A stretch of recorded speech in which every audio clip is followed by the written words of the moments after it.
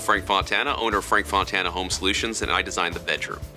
So my inspiration for the room really was to combine a Midwest sensibility with a touch of a glamorous downtown lifestyle, because to me, that's really what Chicago style is all about.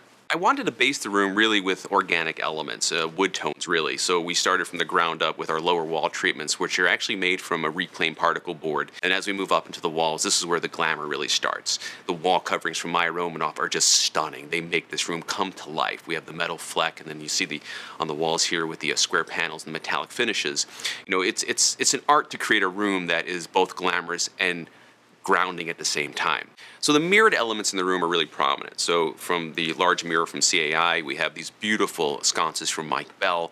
And uh, again, CAI provided some of the um, entry mirrors with the branches on them. The bedding is from designer Linen Source here at the Mart. Uh, Bradley USA provided this fantastic sheepskin bench that sits in front of the bed. And then Keenan Leathers provided this great animal skin rug. I mean, there's so much going on, and in chaos, sometimes you find simplicity. And that's the key to great design, is when you can merge all these textures, all these layers, all these reflective materials, but still feel serene enough to be a bedroom. To me, that's just art. Now, some of the more functional pieces in the room, like the dresser from Mike Bell, is really a, a one-of-a-kind piece. It's, it has the carryover, the, the reflective mirrored materials, although it be slightly distressed.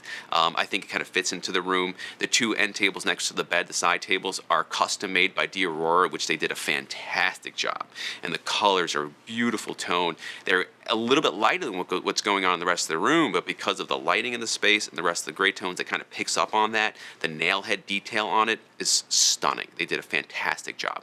You know, met with the folks at CAI and they, you know, helped me pick the right bed, and that bed started to carve the rest of the design. So it had mirrored elements to it, the Marge Carson bed. And then we transitioned to the art. Now, Dear Aurora provided a, a, some of the sculptural elements in the room, like this large sculpture sitting on the floor, which is just, you know, on its own, just beautiful. Over my shoulder, there's this beautiful portrait from Bradley uh, USA, which is just stunning. It makes that corner of that room come to life. I'd have to say the wall coverings really did such a huge statement in the space. I'd want to live here if they gave me the option.